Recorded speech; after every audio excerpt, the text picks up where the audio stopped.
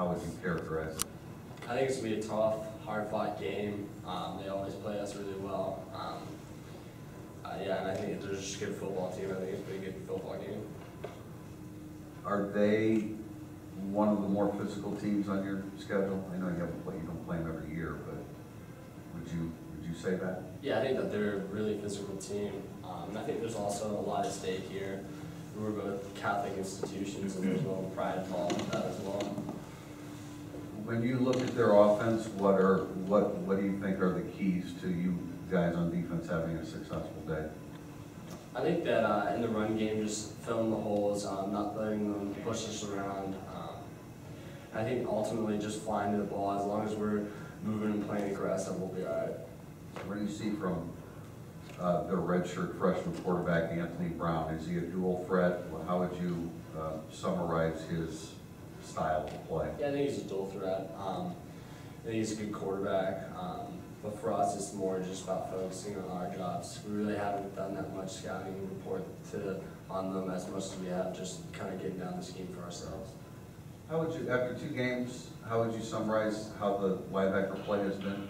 I think it's improved. Uh, I think it's getting better and better. Um, we want to be one of the best linebacker corps in the country, so we're working towards that goal. So we're obviously not there, but I think that we've gotten better from week one to week two. Thank you. Greer, uh, talk about this defense and what you, the things that you like about the, the scheme and, and what it allows you to do. Yeah, I think it allows us to play fast. I think we're playing confident. Um, and having those things just allows, as a defense as a whole, for us just to play super aggressive and physical, um, not really think about a lot of things. Uh, we're just out there kind of playing for each other, running around. Um, it's been fun. Greer up the middle. Uh, you guys were 0 3 last year in true road games, and as a program, 5 and 11 since 2012. Um, what makes going on the road difficult, and what do you guys have to do to make sure it's not the same results that it's been? Yeah, so I think for someone that's already traveled to away games, it's not that big of a deal because you have that routine. But for these younger guys, that this is their first travel game, I think that um, obviously is the hardest thing is to kind of get them to know really what we do on away games. Um, but you know, not speaking about last year or anything, uh, I think that we're ready for this game and we're gonna be ready to go in there and not get a W.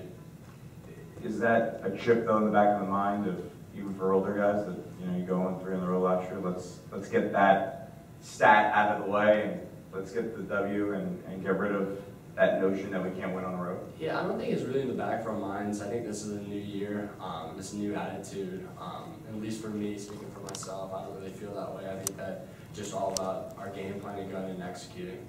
And,